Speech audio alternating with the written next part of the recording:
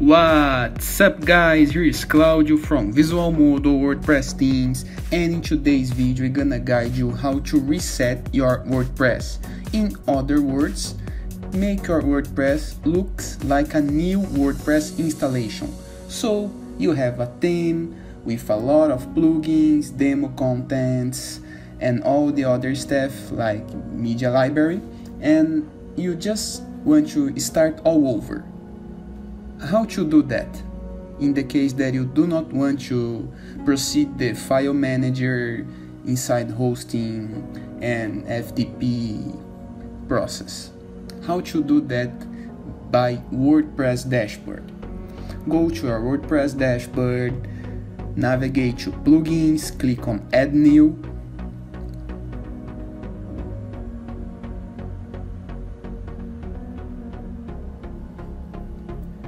in the search plugins field, just type WP Reset.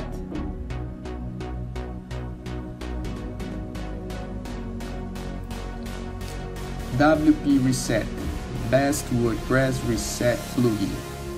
Click on Install, and after that, just activate your plugin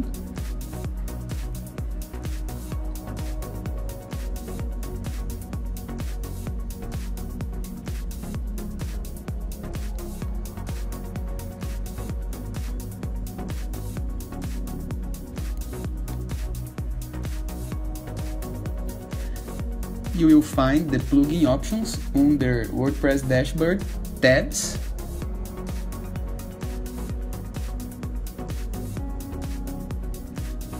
or under plugin WP Reset.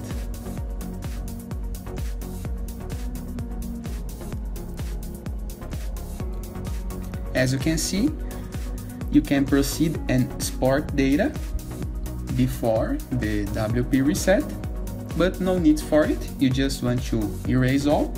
So click on WP Reset, scroll down the page, post reset action. In the case that you want to leave your theme or leave your plugins. And to finish, just type reset in this field. Click on reset WordPress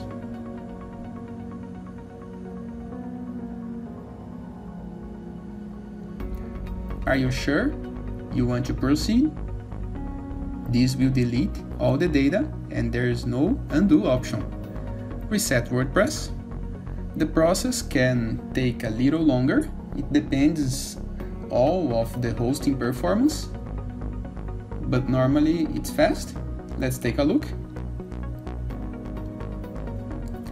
As you can see, an entire new WordPress installation without any data just the default WordPress ones. I hope you guys enjoyed this video. Feel free to use the comment section below in the case that you have any question. And I'll see you again next time. All the best!